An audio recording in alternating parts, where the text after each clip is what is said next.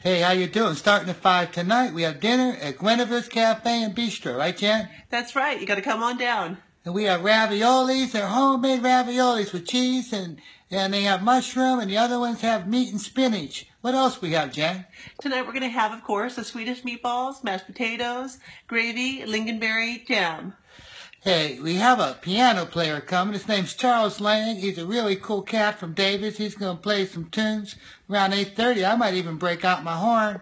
Um, and I, um, I just want to let you know it's going to be a surprise. So come on down to Guinevere's, have a romantic dinner. And today for lunch we had this wonderful couple come in and something magical happened while they were there. It was super delightful. They got the news that they had a great grandchild. Yes, a baby was born. And it's a place where Beautiful if you're baby girl someone you know is in labor, come to Guinevere's. We're sure going to have a baby while you're there because it's a place where special things happen and you get the news there at Guinevere's of beautiful things happening somewhere else. Yeah, right, we, exactly. We gave them a, a cute, sweet baby bambino bread to the parents to enjoy with a little green bow on it just for, you know, that super special time in life. And the reason I'm saying this is because I have to apologize. The video you're going to see next is a video of them, um, and it was really nice, but it got cut off because I was a little clumsy. Stuff so, happens. So you're going to see another video right after this one. It's the couple uh, that had the great grandkid. I promise I'll put it up. Yeah, we We're just gonna wanna put honor it it. up. And hey, if you come down tonight, I'll put you on video, maybe dancing to the jazz, right, babe? That's right. You got to dance to the jazz, Marco. Mm.